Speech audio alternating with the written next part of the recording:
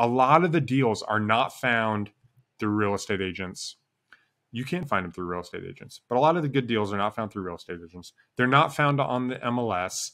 They're not found through, uh, you know, going and seeing for self by owner signs.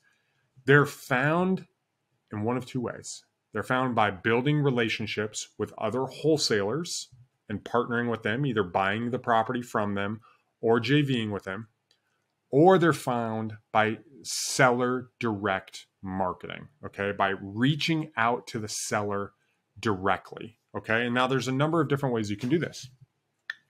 If you're just getting started and you don't have a whole lot of money to spend to it, you can get in your car, drive around.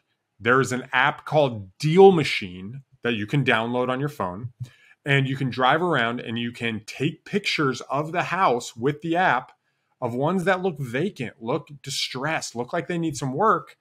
And then you can literally skip trace them right there on there. You can get their the, the person's phone number on the app. It'll find their phone number. You can hit the call button and you can call them and talk to these people about their properties.